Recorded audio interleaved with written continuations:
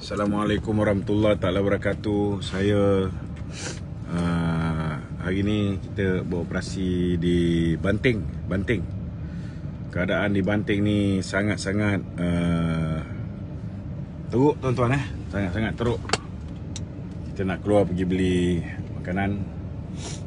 Uh, saya dengan saudara Asri. Assalamualaikum. Ha, ha tuan-tuan tengoklah keadaan keadaan uh, ai tak tahu nak cakap apa. Ni ada saudara.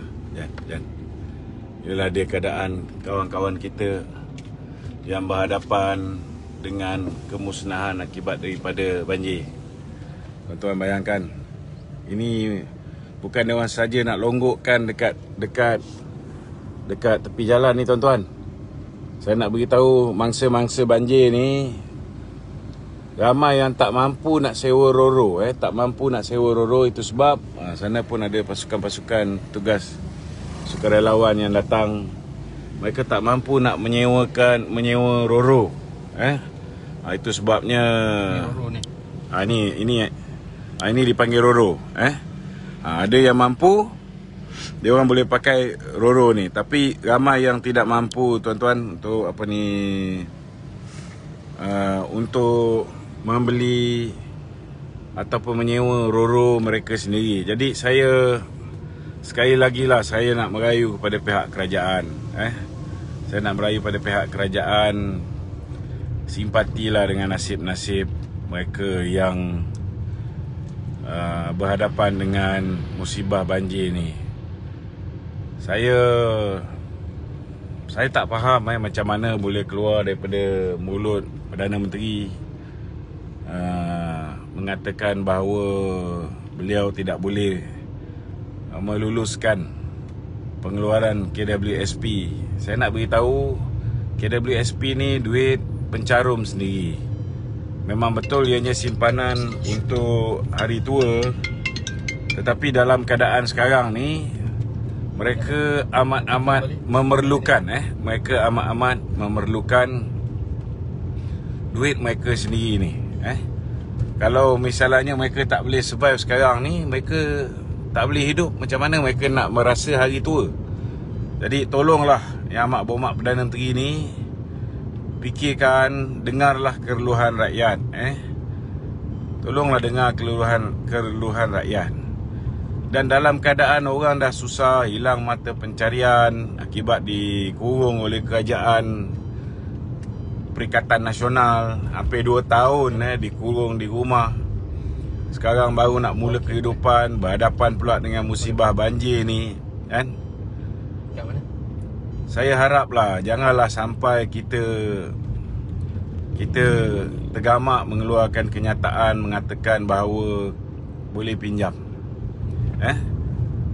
Kita nak menyelesaikan masalah Kita tak boleh pinjam duit Untuk menampung Pinjaman yang lain ha, Cuba bayangkan tuan-tuan Orang yang berhadapan dengan Musibah banjir ni Kerja pun Ada yang dah hilang kerja Ada yang pendapatan dah tak sempurna Ada yang perniagaan mereka Dah terjejas Nak nak apa Mereka nak Mereka nak mulakan perniagaan balik pun mereka memerlukan modal. Kan? Jadi kalau hutang-hutang yang sedia ada pun mereka terpaksa pinjam duit untuk bayar hutang. Jadi saya tak boleh nak bayangkan lah macam mana kita ni tak boleh fikir masalah kesusahan rakyat. Kan? Saya tak boleh salahkan sangat ahli politik ni. Kan? Sebab yalah mungkin rakyat juga silap kan silap kita kita memangka orang yang tidak manusia sepenuhnya eh? Sepatutnya dalam keadaan kesusahan rakyat ini mana-mana pemimpin yang ada sifat peri kemanusiaan mereka pasti akan dapat merasakan eh betapa payahnya kawan-kawan kita. Dah lah ramai yang nak bankrupt Ramai yang gulung tiga, tika akibat daripada sektor ekonomi ditutup Kerana memukan COVID dan sebagainya.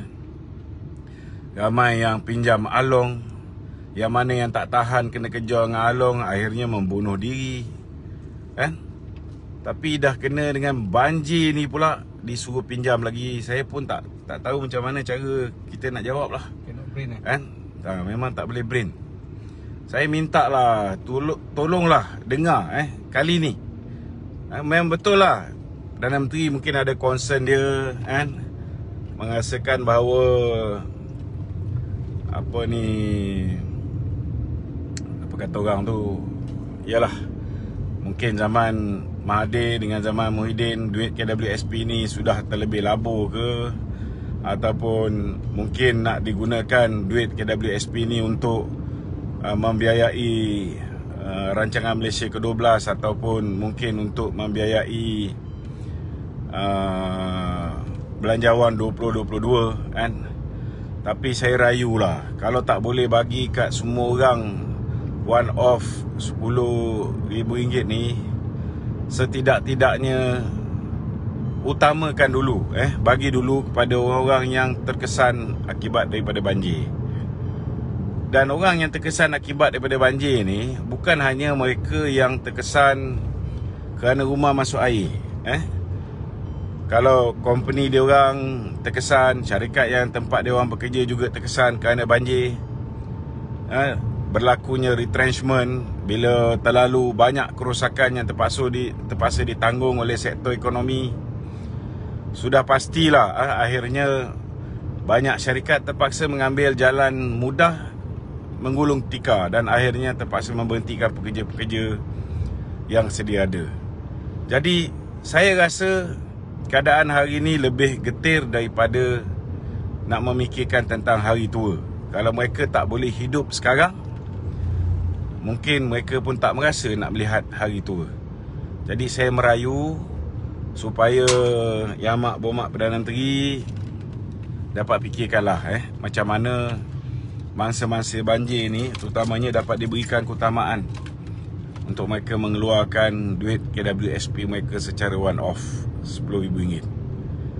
Dan janganlah sampai eh janganlah sampai sifat kita yang tidak mahu mendengar keluhan rakyat di bawah ni sifat kita yang uh, tidak tidak memahami keadaan orang dah tertekan ni kita nak pula suruh mereka ni pinjam duit menambah hutang kan?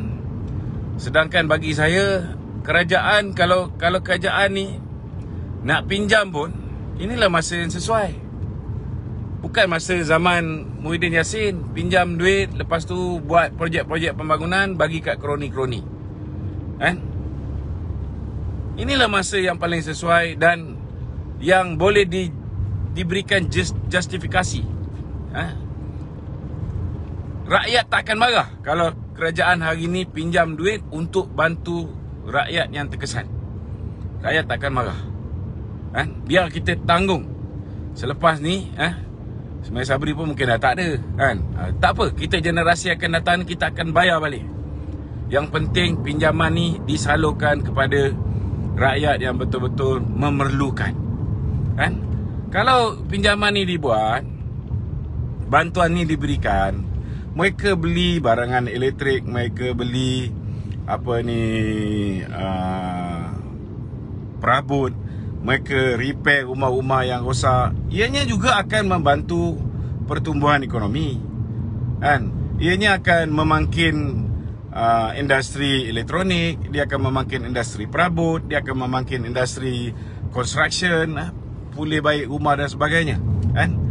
Jadi saya tak faham.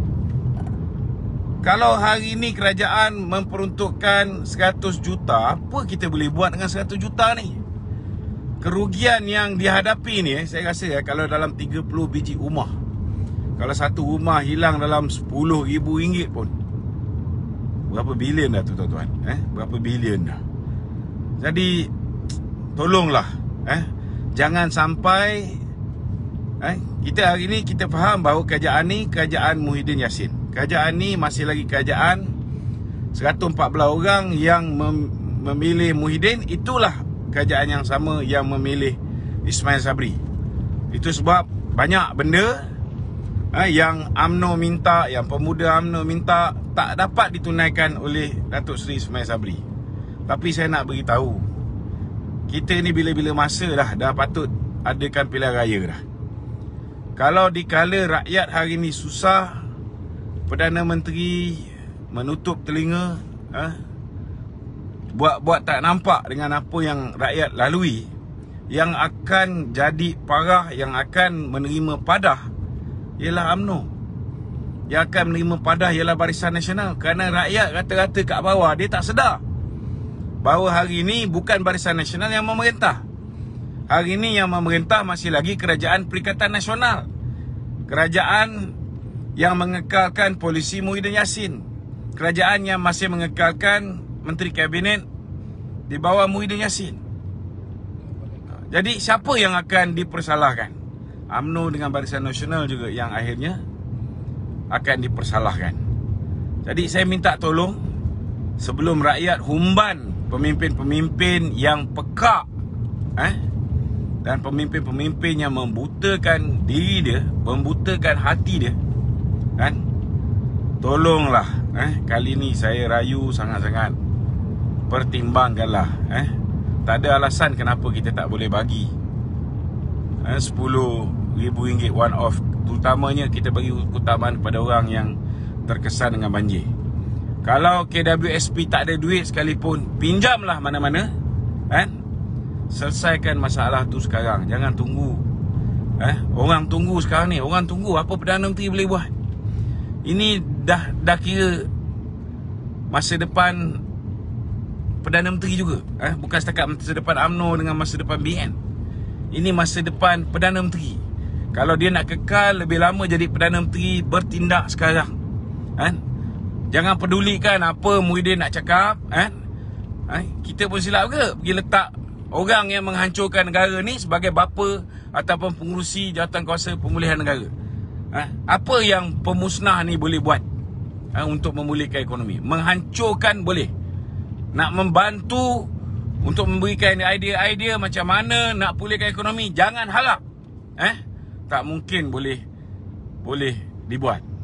Ha, saya bulan banjir ni, saya tak nak komen pasal politik. Tetapi bila dengar Perdana Menteri cakap pasal suruh orang-orang ni mangsa banjir ni pinjam duit, saya rasa memang ini tak patut keluar lah. Ha, lebih baik diam kan. Buat bodoh lagi bagus eh, daripada mengeluarkan kenyataan-kenyataan bodoh. Ianya menyakitkan hati, mengguris hati rakyat.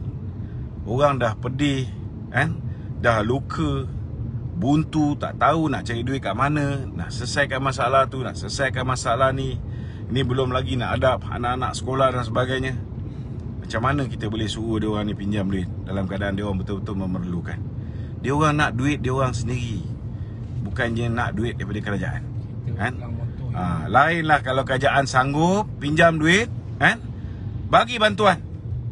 Ha, RM10,000 satu rumah contohnya. Ha, Rumah yang tak berapa terkesan Bagi RM5,000 Kan?